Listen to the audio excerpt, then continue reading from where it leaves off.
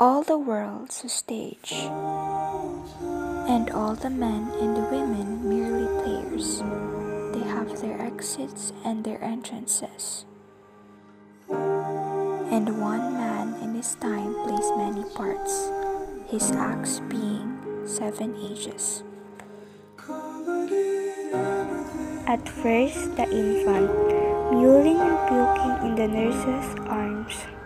And then the whining schoolboy, with his satchel and shining morning face, creeping like snail unwillingly to school.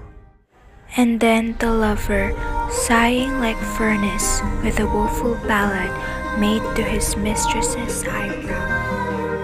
Then a soldier, full of strange oaths and bearded like the part, jealous in honor, sudden and quick in quarrel, seeking the bubble reputations, even in the cannon's mouth.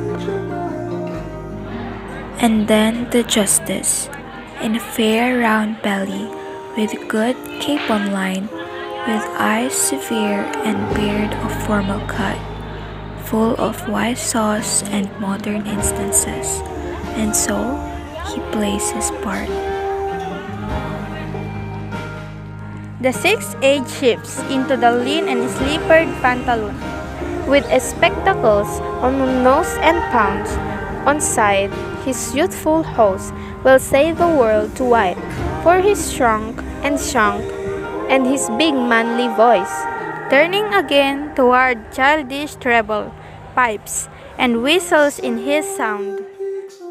Last scene of all, that ends this strange eventful history his second childishness and mere oblivion.